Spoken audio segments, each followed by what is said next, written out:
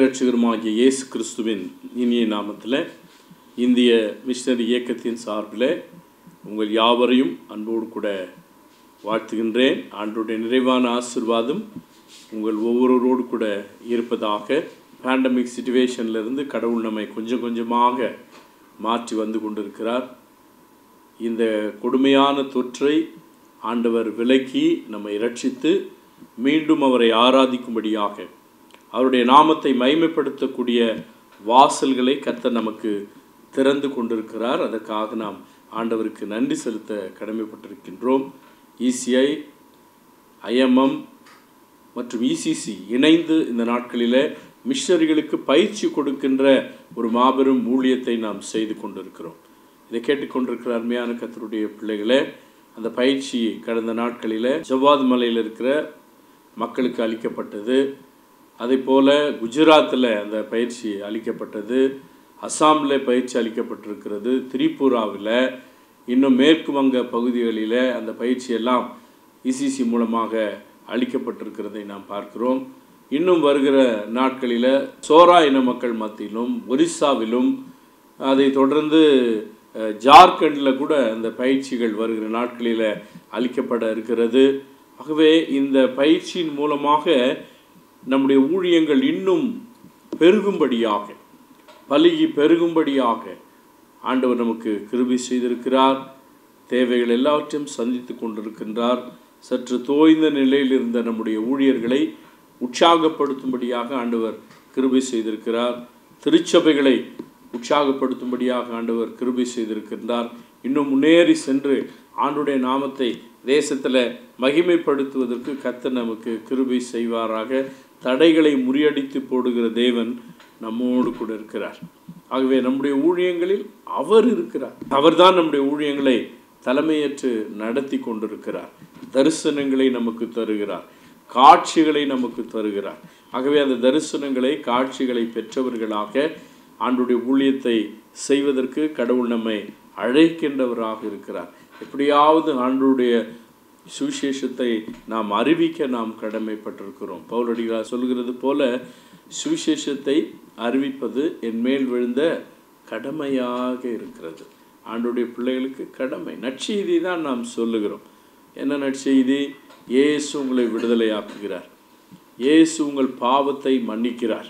இயேசு உங்கள் வியாதியை குணமாக்குகிறார். உங்களுக்கு சந்தோஷத்தை கொடுக்கிறார். சமாதானத்தை கொடுக்கிறார். அவராலே அன்று ரட்சிப்பு இல்லை. அவராலே அன்று விடுதலை இல்லை.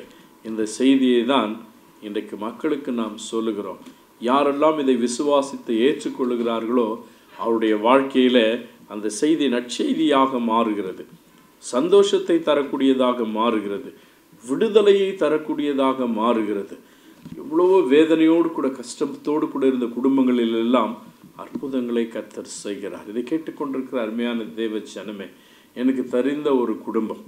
கொஞ்ச நாட்களுக்கு முன்பதாக அவர்கள் ஆலயத்திற்கு வந்தார்கள். ஆண்டவரை அறிந்திருக்கிற பிள்ளைகள் தான் குடும்பத்திலே சமாதானம் இல்லை. திருமணமான பிள்ளைகளுடைய வாழ்க்கையில் பெரிய கஷ்டம். வீட்டு பிரச்சனை கோர்ட்டில் ஒரு பெரிய பிரச்சனை. இப்படியெல்லாம் இருக்கிற சூழ்நிலையில் இருந்தார்கள். யார் எங்களுக்கு உதவி செய்வார்கள் என்ற நிலையில் அவர்கள் இருந்தார்கள். ஆண்டவரை நம்பினார்கள். அவர்களுக்காக செபித்தோம். கொஞ்ச நாட்களில் பிரிந்து போன அருமையான பிள்ளைகள் ஒன்றாக சேர்ந்தார்கள். அந்த நிலமும் அவர்களுக்கு சாதகமாக தீர்ப்பானது. இன்னொரு பிள்ளைக்கும் நல்ல ஒரு திருமணத்தை செய்து வைத்தார்கள். இன்றைக்கு அந்த குடும்பம் ஆண்டவரை மகிமைப்படுத்துகிற குடும்பமாக இருக்கிறது.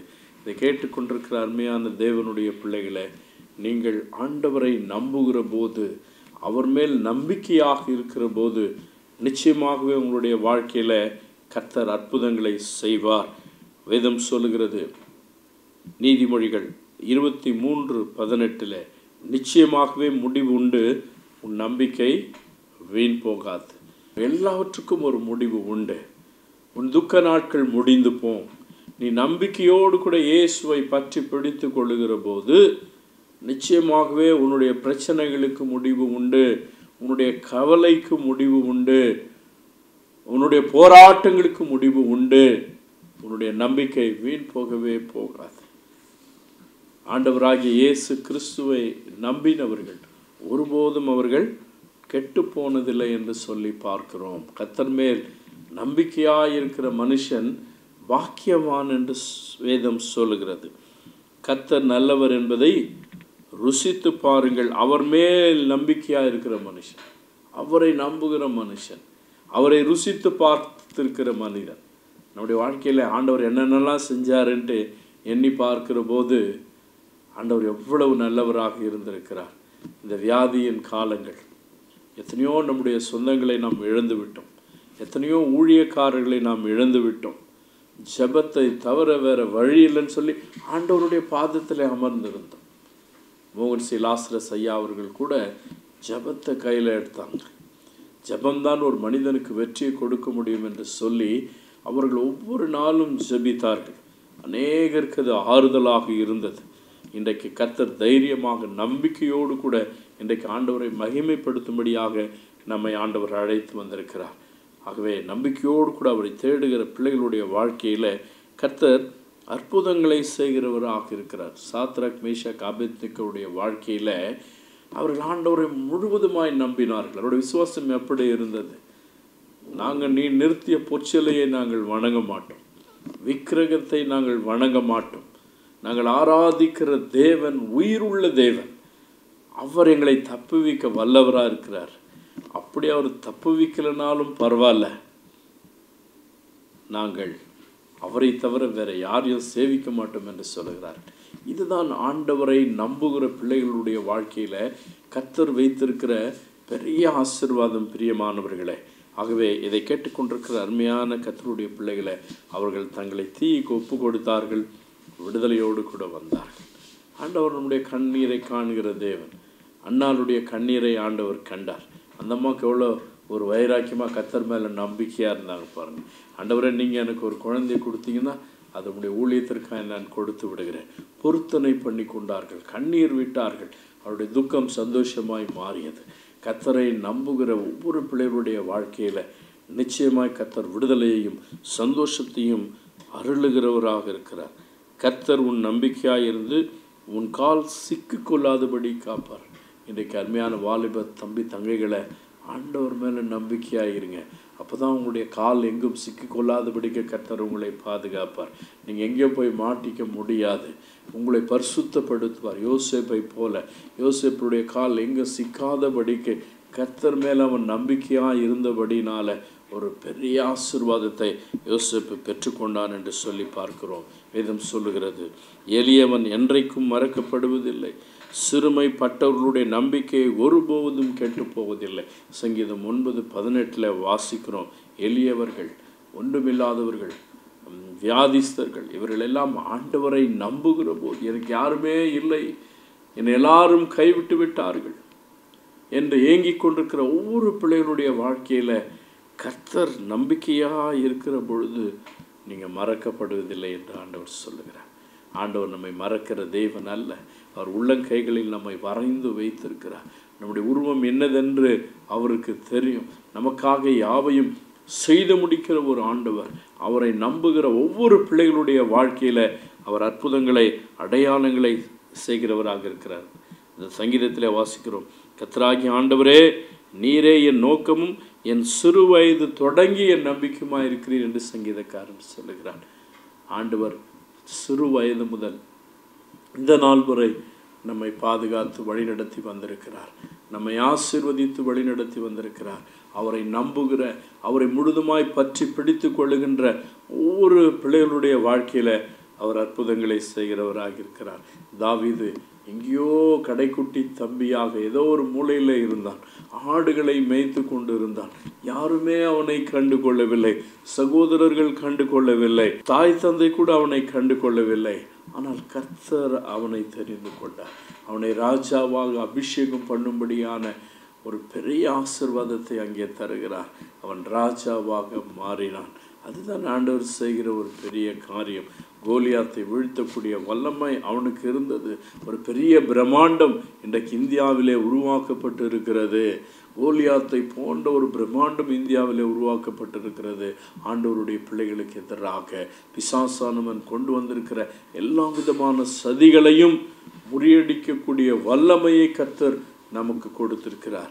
ஆண்டவருடைய பிள்ளைகளுக்கு ஆண்டவர் கொடுத்திருக்கிறார். ஆகவே நீ பயப்படாதே நான் உன்னோடு கூட இருக்கிறேன் என்று சொன்ன தேவன் அவரை நம்புகிற பிள்ளைகளுடைய வாழ்க்கையில் அவரை முழுதுமாய் பற்றி பிடித்து கொள்ளுகிற பிள்ளைகளுடைய வாழ்க்கையில் ஜெயத்தை கத்தர் தருகிறார். குதிரை யுத்த நாளுக்கு ஆயத்தமாக இருக்கும் ஜெயமும் கர்த்தரால் வரும். அவரை நம்புகிற பிள்ளைகளுடைய வாழ்க்கையில் ஜெயம் அவரால் வரும். நன்மைகள் அவரால் வரும். கிருபைகள் அவரால் வரும்.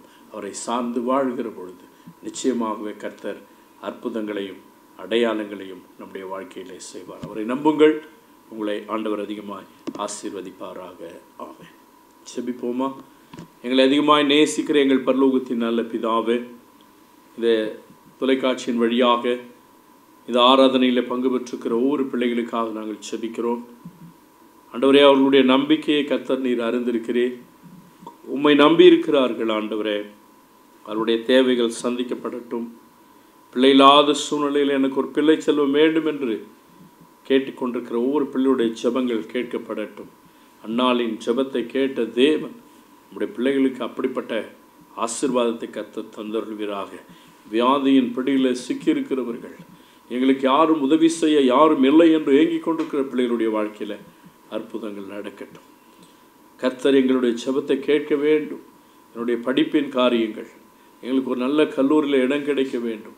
விசேஷித்த எங்களுடைய படிப்பின் தேவைகள் சந்திக்கப்பட வேண்டும் என்று சொல்லி பாரத்தோடு நம்பிக்கையோடு கூட ஆண்டோடைய பாதத்தில் வந்திருக்கிற உங்களுடைய பிள்ளைகளுடைய ஜெபங்கள் கேட்கப்படட்டும். எல்லா மிஷனரிகளை ஆசிர்வதிங்க. ஆதிவாசி பிள்ளைகளை ஆசிர்வதிங்க. இந்திய தேசம் எங்கிலும் ஆண்டவரே உடைய ஊழியத்தை செய்கிற உடைய பிள்ளைகளை நீர் வல்லமையாக அக்னி ஜுவாலையாக எடுத்து பயன்படுத்துங்க. தடைகள் இயேசுவின் நாமத்தினால முறியடிக்கப்படுவதாக. தாழ்த்தி அர்ப்பணிக்கிறோம் பொறுப்பேற்றுக் கொள்ளுங்க ஆசீர்வதிங்க. ஏசு கிறிஸ்து மூலம் ஜபிக்கிறோம் எங்கள் ஜீவனுடன் நடப்பிதாவே ஆமென்.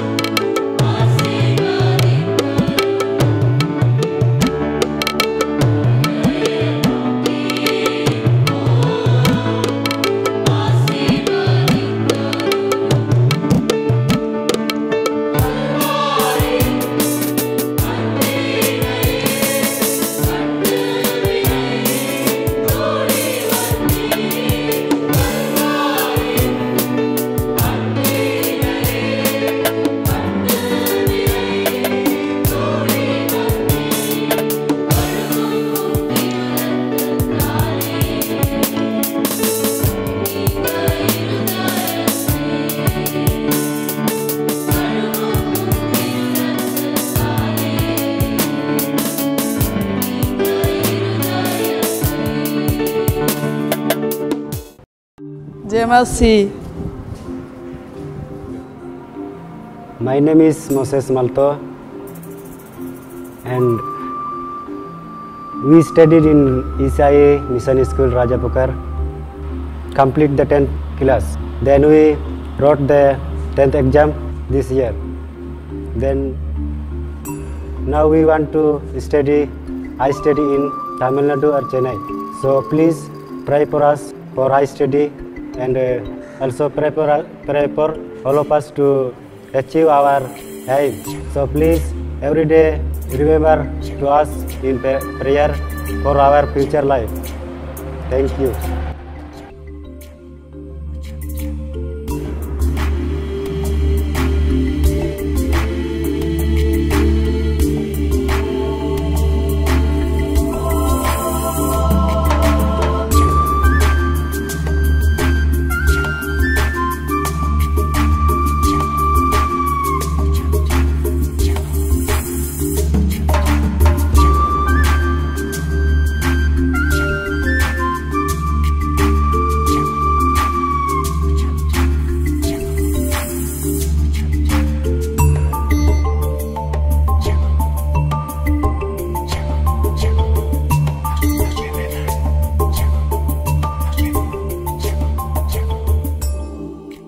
தொடர்ந்து நமக்கு இந்திய மிஷனரி இயக்கத்தினுடைய தலைவர் திரு மனோகரன் ஐயா அவர்கள் ஆண்டுடைய வார்த்தையை கொண்டு வருவார்கள்.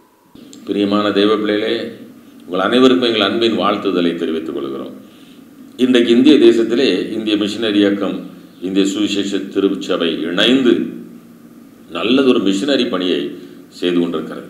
பாரத தேசத்திலே கிட்டத்தட்ட ஒரு அளவுக்கு நிறைய மாநிலங்களிலே நல்ல மிஷினரி பணிகள் நடந்து கொண்டிருக்கிறது. இந்த மிஷினரி பணி என்றால் என்ன? நிறைய பேர் ஒரு கேள்வி கேட்பாங்க. இது என்ன என்று கேட்பாங்க.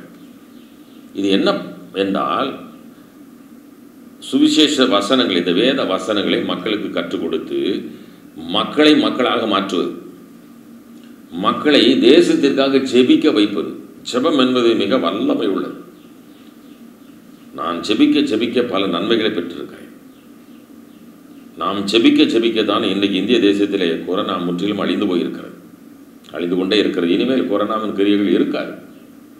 காரணம் நம்முடைய ஜெபம். இந்த ஜெபம் பரலோகத்தின் தகப்பனை இறங்கி வர பண்ணின அப்படின்னாலே எல்லாவற்றையும் அறிந்தவர் இந்த கொரோனாவிலிருந்து நம்முடைய தேசத்தை பாதுகாத்து நடத்தி கொண்டிருக்கிறான் இதுதான் ஒரு மிஷினரி பணி. நம்முடைய தேசத்தை நேசிப்பது அது ஒரு மிஷினரி பணி. என் தேசத்தை நான் நேசிக்கிறேன். இந்தியாவில் பிறந்ததற்காக சந்தோஷப்படுகிறேன். நான் அடி அடிக்கடி சொல்லுங்கள் ஏன்னா உலகத்தின் பல நாடுகளுக்கு போயிட்டு வந்துட்டேன். இப்படி ஒரு நல்ல கலாச்சாரம் உள்ள மக்கள் எங்கேயும் கிடையாது. பல மொழிகளை பேசினாலும் நாம் ஒருவரை ஒருவரை நேசிக்கிறோம். ஒருவருக்காய் ஒருவர் வாழுகிறோம். அதுதான் அன்பு. அதைத்தான் இந்த வேத வசனம் கற்றுக் கொடுத்தது. நான் உங்கள் அன்பு அன்பாக இருக்கிறது போல நீங்கள் ஒருவரில் ஒருவர் அன்பாக இருங்கள். இயேசுவே சொன்னார் இந்த அன்பு உள்ளத்தில் வந்துட்டுனா ஒன்றும் பிரச்சனையே இருக்காது. தீவிரவாதம் இருக்காது.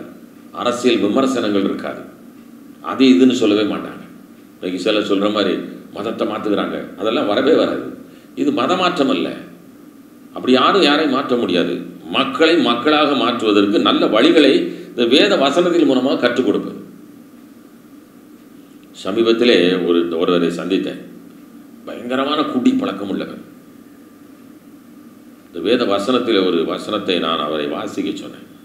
அதை வாசிக்கும் பொழுதே அவர் கை நடுங்கிட்டு பயங்கரமான ஒரு குடி பழக்கத்துக்கு அடிமையாக இருந்த ஒரு நபர் அந்த நேரத்தில் குடியின் மூலமாக பாதிக்கப்பட்டுட்டார். அவருடைய வாழ்க்கையிலே குடி பழக்கத்தை நிமித்தமாக குடும்பத்தில் சமாதானம் சந்தோஷம் எல்லாத்தையும் அவர் இழந்துட்டார். இப்படிப்பட்ட ஒரு சூழ்நிலையில் தான் நான் அவரை சந்தித்த பொழுது இந்த வேதத்தில் ஒரு வசனத்தை நான் அவருக்கு எடுத்து காட்டினேன். நீதிமொழிகள் புஸ்தகம் இருபத்தி மூன்றாவது அதிகாரத்திலே ஐயோ யாருக்கு வேதனை? பாருங்க ஐயோ யாருக்கு வேதனை? யாருக்கு துக்கம்? யாருக்கு சண்டை எங்கே சண்டை யாருக்கு சண்டைகள் யாருக்கு புலம்பல்? காரணம் இல்லாமல் புலம்புகிறது. யாருக்கு காரணம் இல்லாத காயங்கள்? யாருக்கு ரத்தம் கலங்கின கண்கள்? நீங்கள் பார்த்துருப்பீங்களா? போதை அடிமை இதனால் விழுந்து அடி வாங்கி விபத்துக்குள்ளாகி புலம்ப ஆரம்பிப்பாங்க. ரத்தம் கலங்கின மாதிரி கண்கள். மதுபானம் இருக்கும் இடத்தில் தங்கி தரிப்பவர்களும் கலப்புள்ள சாராயத்தை நாடுகிறவர்களும் தானே. இவங்களுக்கு தான் வாழ்க்கையில் புலம்பல் சண்டை இதெல்லாம் சொல்லுகிறது மதுபானம் இரத்த வர்ணமாய் இருந்து பாத்திரத்தில் பளபளப்பாய் தோன்றும்போது நீ அதை பாராதே அது மெதுவாக இறங்கும். முடிவிலே அது பாம்பை போல கடிக்கும் விரியனை போல தீண்டும். பார்த்தீங்களா? பாம்பை போல கடிக்கும். இதை மாதிரி எழுதி வச்சு டாஸ்மாக் கடையில் வியாபாரம் பண்ணுறாங்களான்னா இல்லை. குடிப்போது நாட்டுக்கும் வீட்டுக்கும் உடலுக்கும் கேடு அவ்வளோதான் பாம்பை போல கடிக்கும் விரியனை போல தீண்டும். பாம்பை கண்டால் எல்லோரும் பயப்படுவாங்கல்ல? இன்றைக்கி கடையை அடைப்பதற்கு முடியலையே. நம்முடைய தேசம் பாழாய் கொண்டிருக்கிறதே. இதைத்தான் இந்த வேத வசனத்தின் மூலம் மக்களுக்கு கற்றுக் கொடுக்குறோம். குடிப்பழக்கத்திலிருந்து விடுதலை கோபம் எரிச்சலிருந்து விடுதலை நல்ல முறையிலே வாழ்வது அடுத்தது படிக்க வைப்பது. எழுத்தறிவில்லாத மக்களை அப்படியே எடுத்து படிக்க வைப்பது. இப்படி ஒரு நல்ல மாபெரும் ஊழியத்தை செய்து கொண்டிருக்கிறோம். அதான் மிஷினரி பணி. இன்றைக்கு படித்த பல மக்கள் இந்த சுவிசேஷ திருச்சபை இந்திய மிஷினரி இயக்கத்தின் மூலமாக படித்த மக்கள் இன்றைக்கி நிறைய பேர் நல்ல வ- நல்ல நல்ல வேலைக்கு வந்திருக்கிறாங்க. சமுதாயத்தில் தள்ளப்பட்டவர்கள் ஒடுக்கப்பட்டவர்கள் ஒன்றுக்கும் இல்லாமல் சமுதாயத்தில் புறக்கணிக்கப்பட்டவர்களுக்கு தான் இந்த காரியத்தை செய்து கொண்டிருக்கிறோம். அவர்கள் இன்றைக்கி மேன்மையாக நல்ல வீடு கட்டி நல்லா வாழுகிறாங்க. நல்ல முறையில் இருக்கிறாங்க. இதைத்தான் இந்த வேத வசனத்தின் மூலமாக மிஷினரி பணிகளாக செய்து கொண்டிருக்கிறோம். பிரியமான தேவ பிள்ளைகளே நான் ஒரு வியாபாரி தான். வியாபாரம் செய்து கொண்டு தான் இந்த பணியில் இருக்கிறேன். காரணம் என்னை தேவன் ஆசீர்வதிக்கிறார். வியாபாரத்தை ஆசீர்வதிக்கிறார் குடும்பத்தை ஆசீர்வதிக்கிறார் என் பிள்ளைகளின் பிள்ளைகள் எல்லாவற்றையும் கத்திர ஆசீர்வதிக்கிறார் நடத்துகிறார். நன்மைகளை தருகிறார். நான் பெற்ற நன்மை எல்லாரும் பெறணும். இது மாற்றம் என்பது அதுதான். வேற ஒன்றும் இல்லை பாருங்க இந்த வேதத்தில் ஒரு வசனத்தை ஞாபகப்படுத்துகிறேன். நீங்களும் முடிந்தால் அந்த வேத புஸ்தகத்தை வாங்கி படித்து பாருங்கள். இதில் யோவான் எழும்ப என்பவர் ஒரு நிருபத்தை எழுதுகிறார். அதில் முதல் நிருபம் ரெண்டாவது அதிகாரத்திலே அந்த பரிசுத்தவான் எழுதிய ஒரு வார்த்தை பாருங்க. பதினேழாவது வசனம். ஒன்று யோவான் இரண்டு பதினேழு. உலகமும் அதன் இச்சையையும் ஒளிந்து போகும். இந்த உலகமும் ஒரு நாள் அழிஞ்சிடும் இந்த உலகத்துக்கு ஒரு முடிவு வரப்போகிறது. மனம் திறந்து பேசுகிறோம். ஆமாம் அடுத்த பிறவி அடுத்த உலகம் அடுத்த மாதிரி இப்படி ஆயிரும் அப்படி ஆயிரும். எதுவுமே கிடையாது. உலகமும் அதன் இச்சையும் ஒளிந்து போகும். தேவனுடைய சித்தத்தின்படி செய்கிறவனோ என்னென்றைக்கும் நிலைத்திருப்பான்.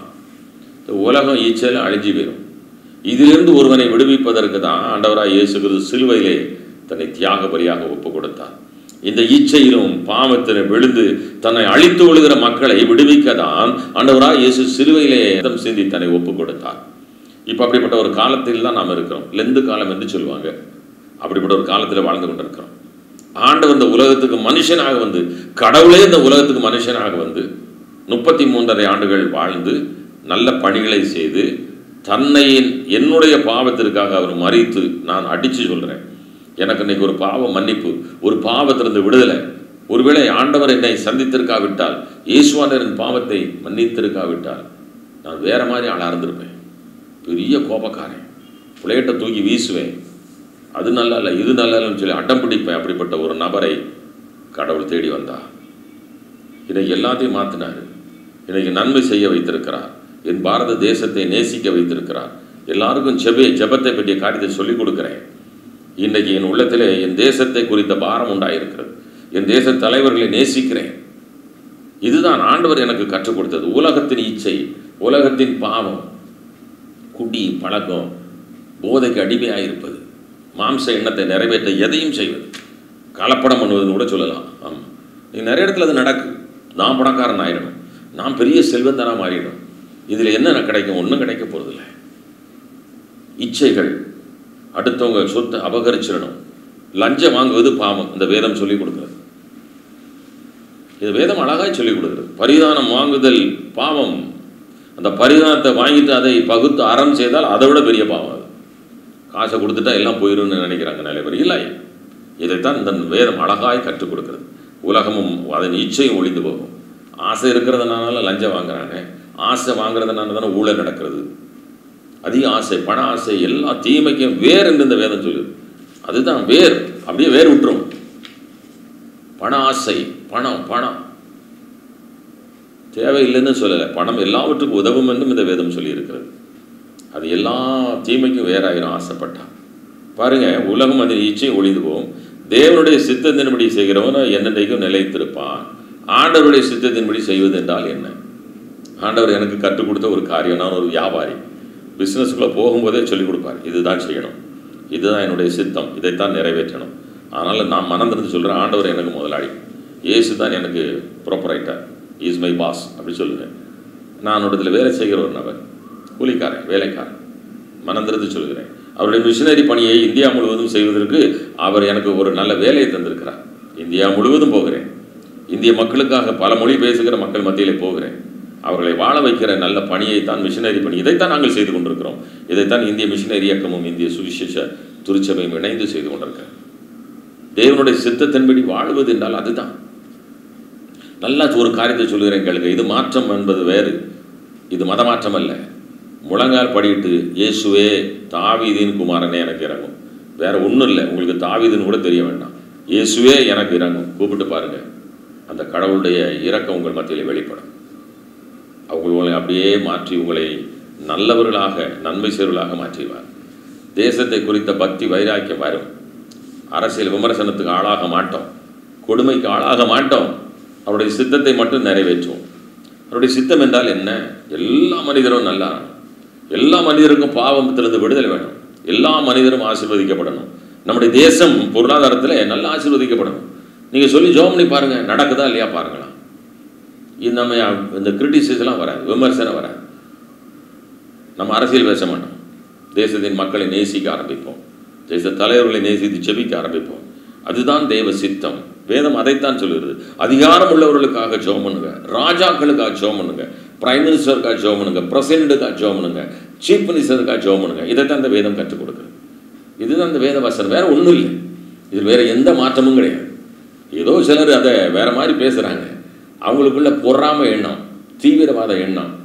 மத தீவிரவாதங்களும் இப்படி மாறிடும் கடைசியில். அது வேற மாதிரி போயிடும் இதல்ல நன்மை என் தேசம். சொல்லி பாருங்க ஒன்றும் வராது.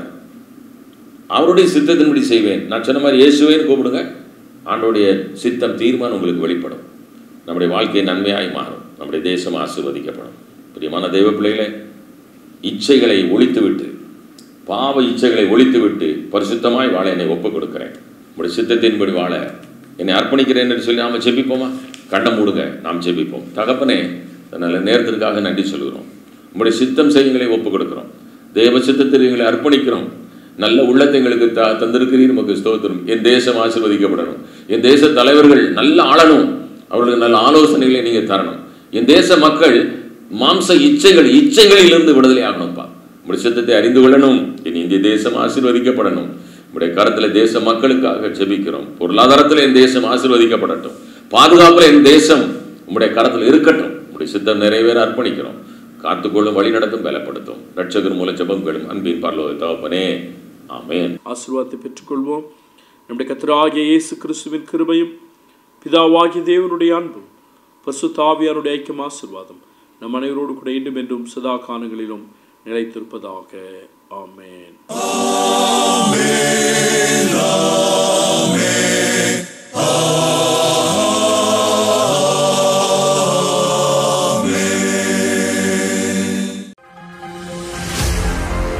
இன்றைய வேத வசனம் எபேசியர் ஒன்றாம் அதிகாரம் ஏழாம் வசனம். அவருடைய கிருபையின் ஐஸ்வர்யத்தின்படியே இவருடைய இரத்தத்தினாலே பாவ மன்னிப்பாகிய மீட்பு இவருக்குள் நமக்கு உண்டாயிருக்கிறது. ஆமேன்.